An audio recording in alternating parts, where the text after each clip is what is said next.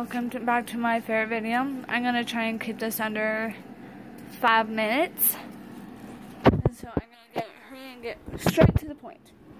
Okay, so I was going to tell you guys how I got my five ferrets.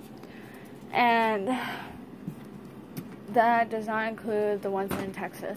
So, I'm going to hurry and tell you how I got my five ferrets. And so, um, I was here where I live now.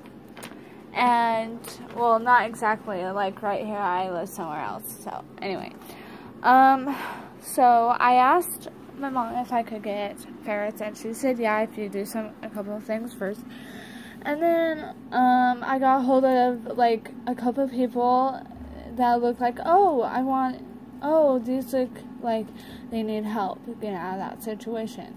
And so I was gonna get two ferrets, but then I ended up getting three ferrets, and I was gonna end up getting two because of one person asking for like so much, and then I found this other person that wasn't asking that much, and she, that person, she um, said that um, I'll be getting two boy ferrets, and then I'm like, okay, sweet, and then She's like, oh, my friend's mom said no, she can't have the girl ferret. I'm like, okay.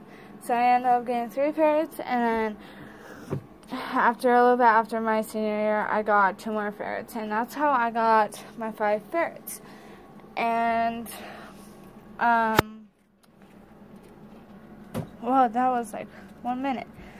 And